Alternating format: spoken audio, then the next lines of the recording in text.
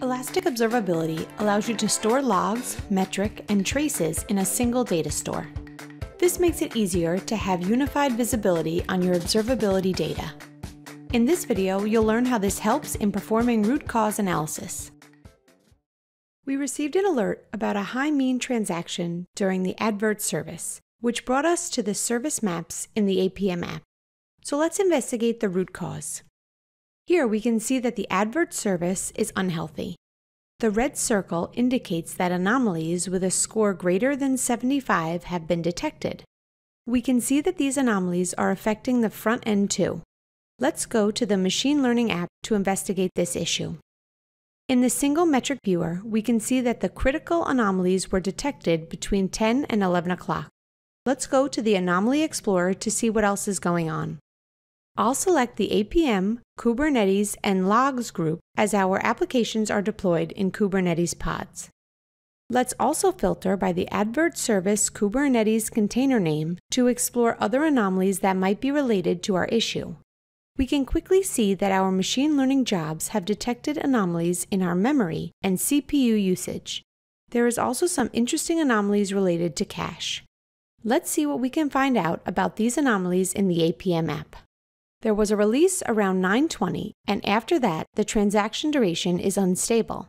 Let's see if there are any application errors after this release. The advert service is timing out while trying to get ads, but why exactly? Let's keep investigating by checking what kinds of insights the metrics can give us about the Kubernetes pods that advert service is running on.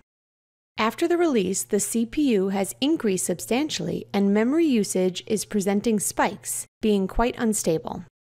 Let's go to the Logs app to see what we can discover about the specific heap issue and whether it's related to the timeout error. From the transactions, we can access the pod logs related to the high duration transactions. I'll narrow the query to find events related to the word heap or memory we can see that the advert service is terminating due to lack of memory, but why? We know that there are anomalies related to cache and timeout errors when trying to receive ads. The logs in context show us that these anomalies and errors are happening because items are being added to the cache until there is not enough memory, thus making the advert service terminate and reboot. The root cause for a high mean transaction duration in the advert service is a broken release. It is caching items without validating whether there is enough memory. As a result, the advert service keeps rebooting and is unable to attend requests, significantly increasing the response time.